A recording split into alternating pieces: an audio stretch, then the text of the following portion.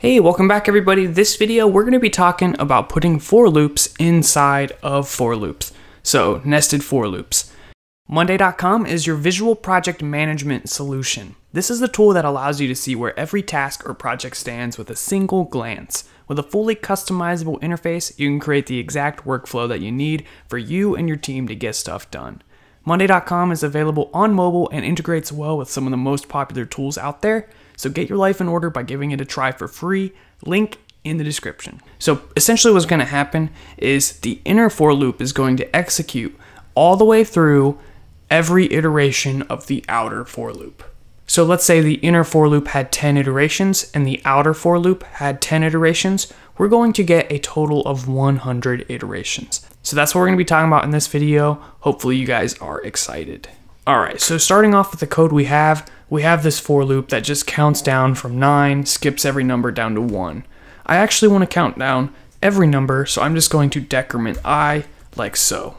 Running this, we get 10 iterations, 9 down to 0. And what I want to do is instead of outputting this, I actually want to do another for loop. So it's going to look something like this. And for the actual structure for the for loop, we're going to say int k equals 0, by convention, this variable is named k or j. I prefer k, it's just more natural for me, but you guys can choose whatever you want. Please fight about it in the comments. And I think actually we're going to start k at 9 instead of 0, so we're also going to count down for this loop. And what we're going to do is say k greater than or equal to 0, and then k minus minus. So I pretty much copied this outer loop, but with the variable k. Now what I want to do is I want a console write line, and I'm going to write line the value of k. So doing this with each iteration is going to make a lot of new lines. So what you can actually do is get rid of that write line. That's going to put everything on the same line. You can see when we do this, we get a ton of junk in here. It looks like our program threw up or something. So what we actually need to do is go down here and do a console.writeLine and just leave it empty and that will space things out a little bit better. You could also throw a space in here, which will make things a little prettier. Running this again, there we go. We get the output we were looking for. We're counting down from 9 to 0 10 times. Now, if you want to make a triangle shape, what you can do is you can reference the outer variable inside this for loop, the inner for loop. So instead of setting k to 9, we could actually set k to i. And since i is decreasing each iteration, it's going to make a triangle shape.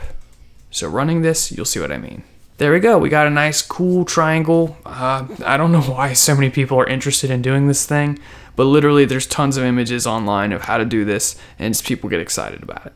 If you don't believe me, here are some images showing similar outputs. Here's one really similar to what we did. Here's a more complicated one. Definitely would try to figure out how to do that if you want. There's all kinds of tutorials on how to do all this stuff.